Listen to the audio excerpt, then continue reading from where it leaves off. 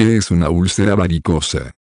Una úlcera varicosa es una lesión dolorosa y sangrienta que aparece en la piel cuando las venas subyacentes no pueden bombear la sangre de manera eficiente. Las úlceras son muy comunes en personas de edad avanzada que sufren problemas de circulación relacionados con la edad, aunque ciertas afecciones médicas, como la trombosis venosa profunda, pueden provocar ulceración en pacientes más jóvenes.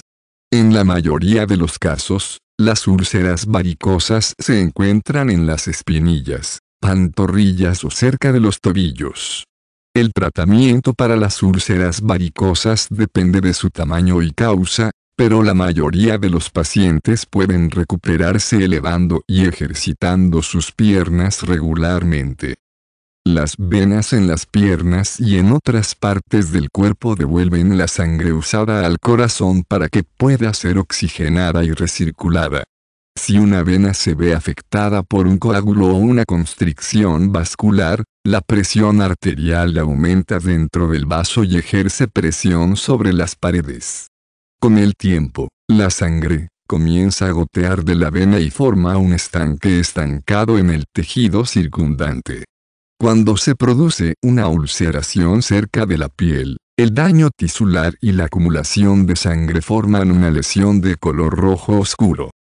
Una vena de la pierna es más probable que se vea afectada por una úlcera varicosa, ya que las venas en las extremidades inferiores están relativamente lejos del corazón.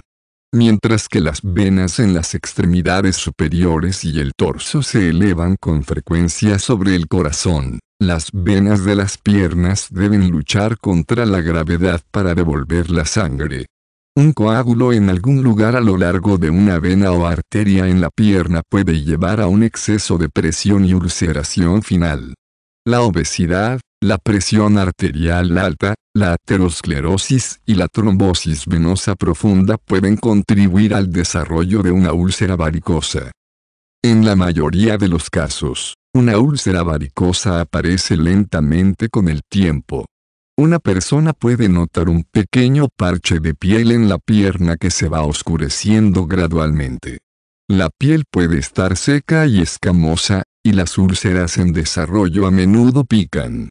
Una vez que una lesión comienza a formarse, el punto se vuelve sensible al tacto.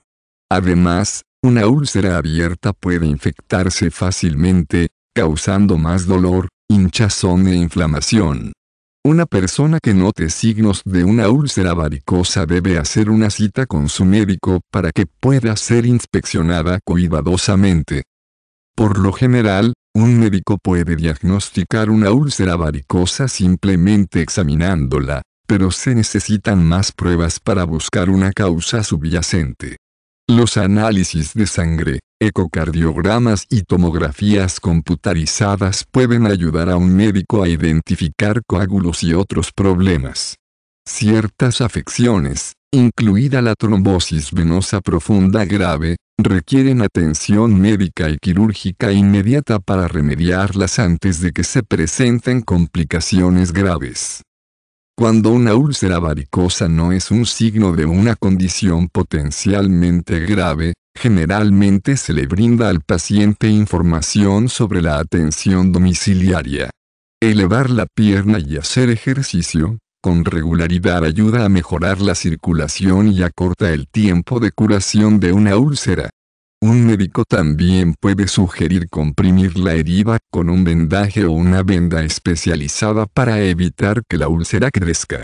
Las lesiones generalmente tardan varios meses en curarse completamente, pero los síntomas generalmente se resuelven en unas pocas semanas siguiendo las instrucciones de un médico.